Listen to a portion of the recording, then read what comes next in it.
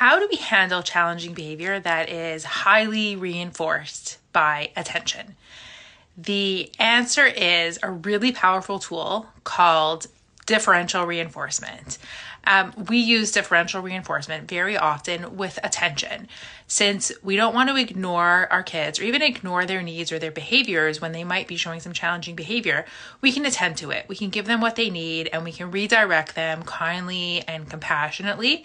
But we want that to feel different than the kind of attention that they get for doing the things we want them to do more of. So, differential reinforcement is really getting a little bit less reinforcement for a behavior we don't want to increase and getting a lot more reinforcement for a behavior that we do want to see happen more often.